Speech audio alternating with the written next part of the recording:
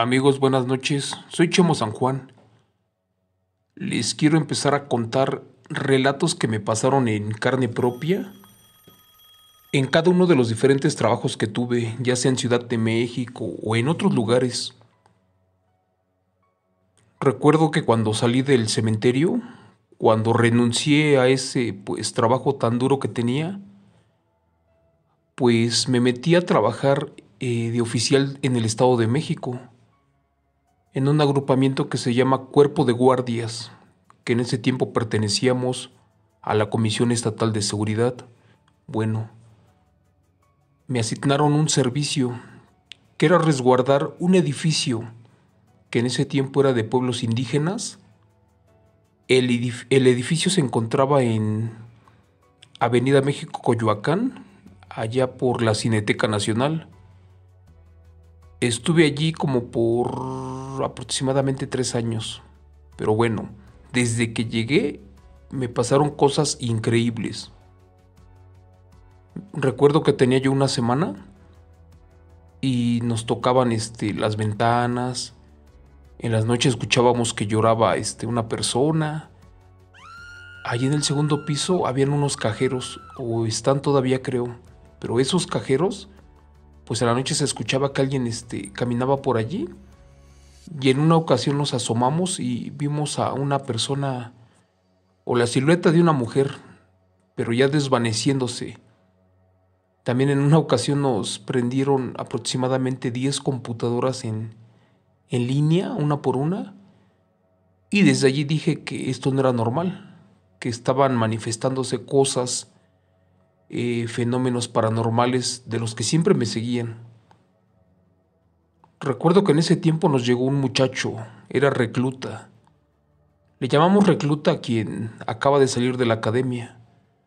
Bueno, este muchacho llegó y a la tercera noche que estábamos allí trabajando, a eso de las dos de la mañana, se levantó gritando, diciendo que lo había mordido una rata pues yo también me espanté porque a mí me dan mucho miedo los ratones o las ratas.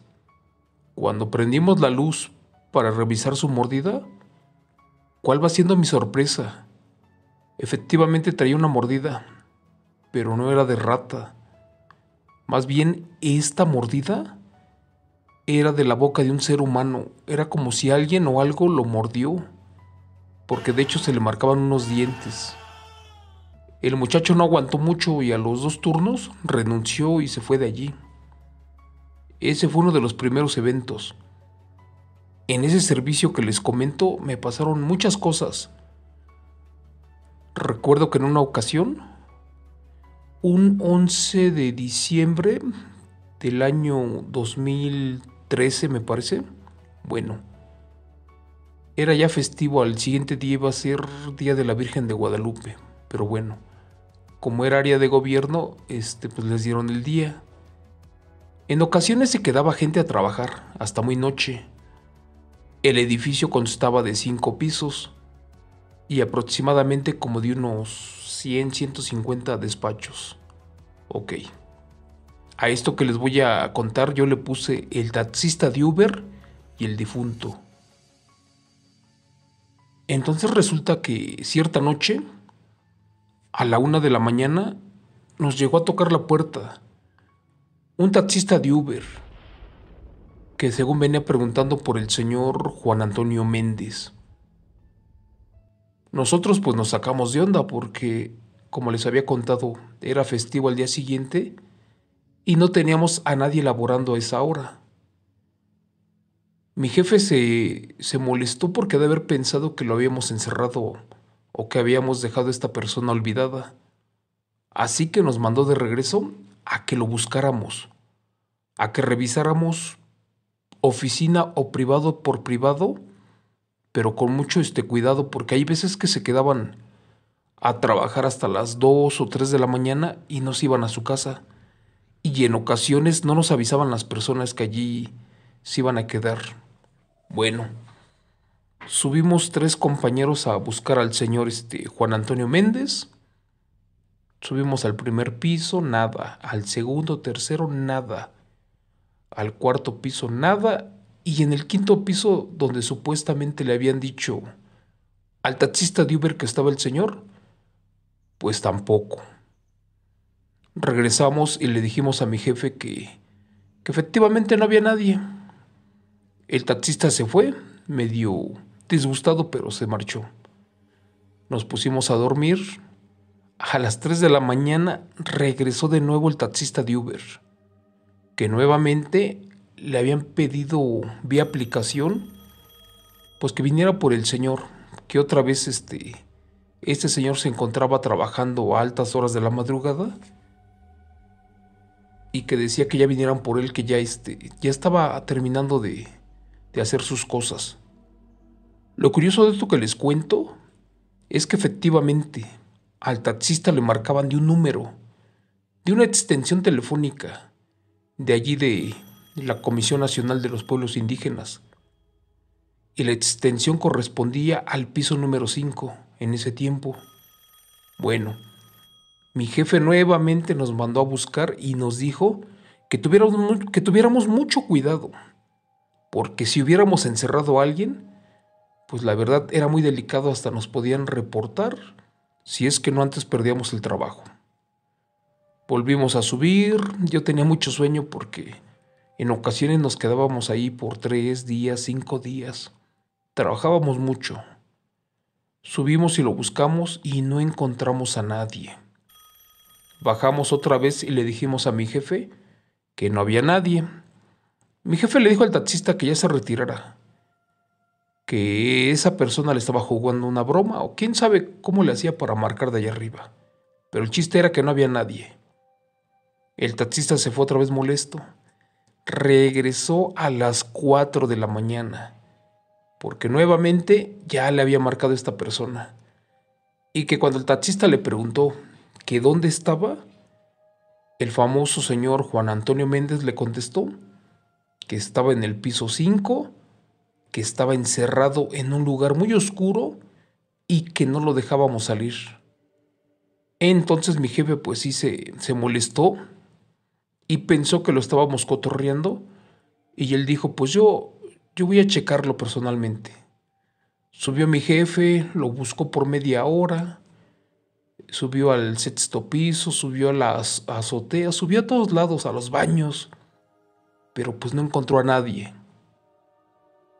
Bajó mi jefe como cuatro y media, cuatro cuarenta de la mañana y le dijo al taxista que efectivamente que no había nadie y que ya se marchara por favor, que porque no podíamos estar este, abriendo la puerta porque ya era este, de mucho riesgo se nos podían meter. El taxista pues se fue molesto. A mí se me ocurrió decirle al taxista de que me dejara su número, de que me diera su número y que si el famoso este, señor Juan Antonio Méndez bajaba de donde estaba, pues que yo le marcaba para pedirle el servicio de regreso. El taxista me dio el número y se marchó. Dieron las 5 de la mañana, cinco y media, y el taxista no regresó. Pensamos que efectivamente ya, ya le habían jugado una broma y ya no quiso contestar las llamadas. Pero bueno, yo me quedé con la duda a eso de las 7 de la mañana, que era día sábado me parece, que le marco al taxista y que le pregunto, bueno, señor taxista, ya este, ya le cancelaron el servicio, ya por fin contestó el señor Méndez, que me dice una sarta de groserías el taxista, me dijo hasta de lo que me iba a morir y me dijo que ya no lo molestara, que, que ya estaba harto que desde que ya había llegado a su casa le habían marcado como por diez ocasiones más, y que en una de esas el taxista desesperado le preguntó al señor, Bueno señor, si usted dice que está trabajando allí en las oficinas de gobierno y que lo encerraron, ¿dónde está usted? Dice el taxista que le contestó el famoso señor este. Mira, yo estoy en un lugar oscuro donde no hay luz y tengo mucho miedo y quiero que me saques de aquí. Necesito que vengas por mí. Que cuando el taxista le volvió a preguntar, bueno, ¿y cuánto tiempo lleva ya encerrado usted, señor? Amigos, la voz le dijo al taxista que llevaba encerrado mucho tiempo, mucho antes de que él hubiera nacido. Cuando nos contó esto, nos quedamos sorprendidos porque yo tenía el altavoz. Ya de ahí me colgó el taxista y ya nunca más platicamos con él. Resulta que al taxista le había marcado un difunto para pedirle un servicio de taxi. Lo que después este, nos enteramos es que al taxista le habían dicho, por, bueno, perdón, ¿por qué tanta desesperación del taxista? ¿Por qué tanta insistencia para sacar a esta persona de allá arriba? Pues al principio, porque esta persona le dijo al taxista que si le hacía el servicio y lo sacaba de donde estaba encerrado, le iba a pagar muy bien, le iba a pagar lo que él le pedía, lo que él quisiera. Entonces, por la ambición y avaricia del taxista, pues estaba allí, porque a mí se me hacía muy raro de que fuera insistente y de que no se fuera a su casa. Pero les vuelvo a repetir, cuando le dijeron al taxista que tenía muchísimos años desde antes de que él naciera, llegamos a la conclusión de que estábamos hablando con un ser descarnado, con una persona, una de los muchos difuntos o fantasmas que allí estaban atrapados o encerrados, pues una de estas entidades le estaba haciendo, pues yo creo que no una broma, sino un enlace y quería que el taxista fuera su medio de transporte para abandonar este, pues el lugar donde estaba atrapado. Recuerden que como ya les he platicado en diferentes ocasiones, en los cementerios o en otros lugares, por ejemplo en los hospitales, las almas o espíritus de los descarnados o, difuntos están atrapadas y no pueden trascender. Tampoco pueden salir de allí, al menos de que un ser humano lo saque, ya sea en hombros o pues se le monte en las espaldas y, y lo saques a la calle. Así como yo le hice muchas veces con diferentes, pues, difuntitos de ahí del cementerio. Lo que yo creí que era una broma en el cementerio resultó una realidad. Y les voy a contar otra, otra pequeña historia de ahí del, del edificio de gobierno donde trabajé.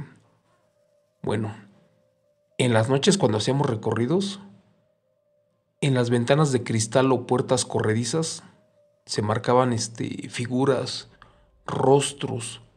Se veían cosas muy, muy, pues sí, horribles, ¿no? De hecho, no usábamos los elevadores porque luego nos dejaban encerrados. Escuchábamos cómo corrían y cosas así por el estilo. Mi curiosidad es muy grande. Las personas que me conocen saben que yo no tengo límites. Siempre quiero saber qué pasa, por qué suceden las cosas. Estuve investigando allí por dos años.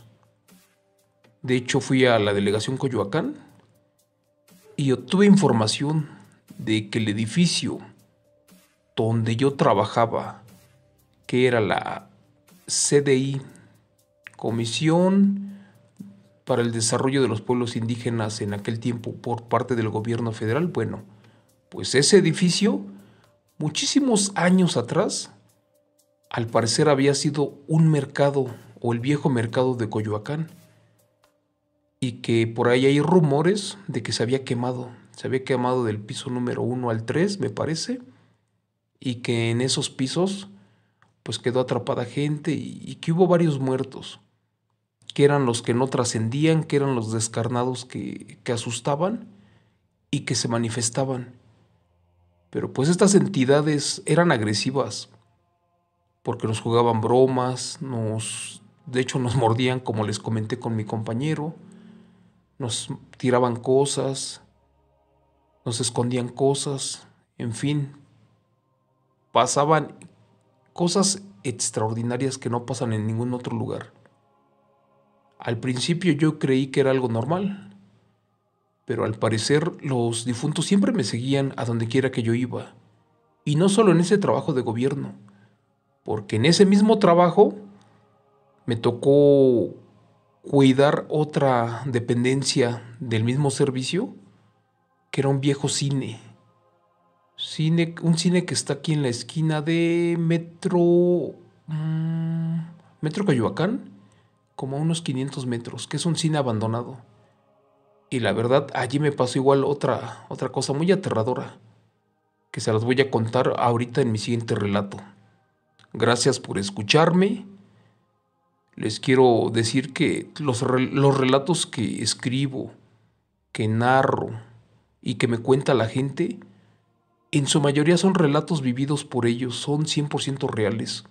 También recibo relatos de sucesos de ranchos, de pueblos que pasaron hace muchos años y que van de boca en boca. Pero también de igual forma recibo relatos que sucedieron hace un mes, hace dos, hace tres, de nahuales, de brujas, de seres descarnados, de demonios, de todo lo, lo que nos interesa a todos nosotros. Ya para terminar les digo que por favor me apoyen en todas las redes sociales que tengo, en las páginas donde publico los relatos en Facebook y también por favor en, en estos tres canales que tenemos en YouTube, que son Relatos de Terror para No Dormir by Chemo San Juan. El otro canal se llama Relatos de Terror, lo que la gente cuenta. Y en el nuevo canal donde estoy publicando este relato y relatos en vivo, Relatos de Horror by Chamo San Juan. Espero que sean de su agrado y cuídense mucho, que Dios me los bendiga. Gracias.